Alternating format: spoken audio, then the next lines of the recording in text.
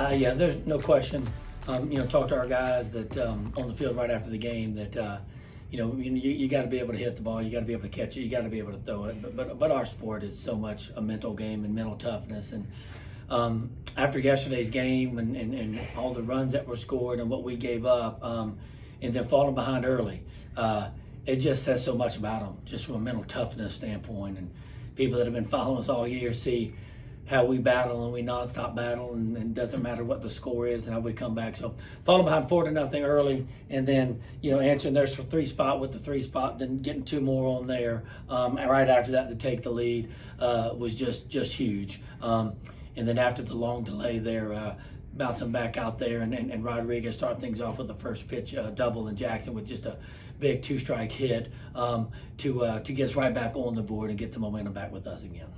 And uh, the other than you said, you know, they, they put up three in the one inning, but other than that, you just give up two runs after after yesterday. That had to be a good sign for the pitching staff to you know to, to shut them down like that. Yeah, and obviously once we fell behind yesterday, you know, we weren't using what you would call the quote unquote type guys that we use to kind of finish off games and tight games.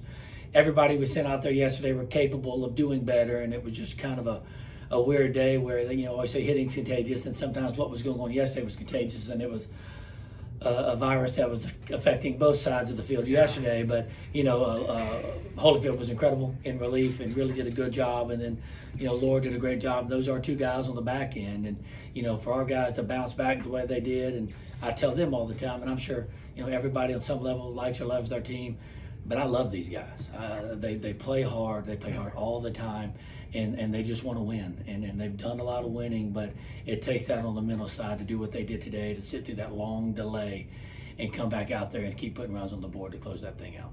Lastly, uh, Howe gets uh, four hits, a home run. Big day for him. Just talk about his play. Uh, Howe's one of our two engines at the top. You know, the two Garretts we talk about all the time. He helps run the show in the middle of the field at shortstop. We put a lot on him uh, as a player and as one of our leaders out there. Um, he does a great job of vocal leadership. He does a great job uh, as one of the best defenders in the league for sure. Um, but he hits, uh, and he hits all the time. And even had a little bit of stretch where he wasn't getting quite as many base hits, he was still hitting the ball hard. And, we talk about it all the time. You know, that's it's an average for a reason. But he's been a great player for us for a really long time, and uh, we're gonna miss him when he's gone. But we're gonna count down every second that he's here for these next few weeks. Yeah, it felt good. Um, I think the key to today was really just staying locked in the entire game. Obviously, we had that uh, that rain delay that kind of stopped things for a little bit. Um, but just staying locked in and, and knowing that the pitching was going to have our back today, and obviously we're going to play good defense too. Um, just keep on swinging, and good things will happen. And uh, how big when you came back after the after the delay there, you know, like you talked about, you get get some big hits. Just how big was that momentum wise, just to to come back and and uh, and keep things going? Oh, that was huge. Just I, I told, I think it was Staten. Um, as soon as as soon as Jared hit that double, I knew that you know we were going to win that game. And as soon as Harris hit that ball as well, um, you kind of just feel their dugout deflate a little bit, and then the energy just kept on coming on our side, um, just deflating them.